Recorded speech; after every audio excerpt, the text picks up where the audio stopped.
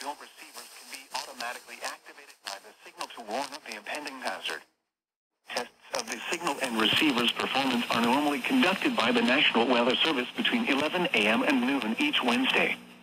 If there is a threat of severe weather, the test will be postponed to the next available good weather day. Reception of this broadcast, and especially the warning alarm tone, will vary at any given location.